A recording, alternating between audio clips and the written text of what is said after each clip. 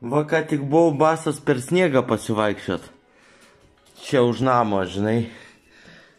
Tai galiu pasakyti, minutė išbūt ant sniego basam tai jau yra didžiulis iššūkis man kaip pradedančiam. Aš dar niekada basas nevaikščiau ant sniego gyvenime.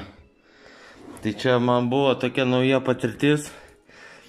Žinai, ir taip eini ir taip biški pabūni minutę ir net jau gelia kojas, žinai. Tai va tokis va prikolas. Šiandien nenufilmavau, nes norėjau pabandyti, ką tai reiškia, o jeigu rytoj eisiu, tai rytoj nufilmuosiu, žinai. Ką reiškia basam vaikščiot per sniegą.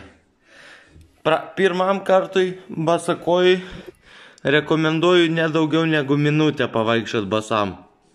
Pirmą kartą, žinai.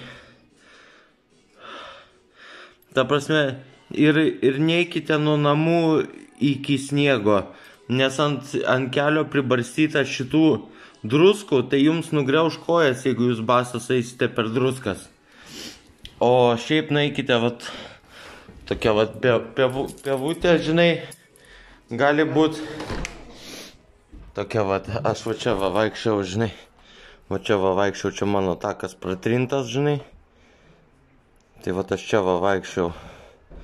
Nu ir normaliai, ant tokio praus sniego visai nieko, sakyčiau. Bet daugiau minutės pirmam kartui nerekomenduoju. Po to gal išmoksite, galėsite pabūti ir 5 ir 20. Nuo jūsų priklauso.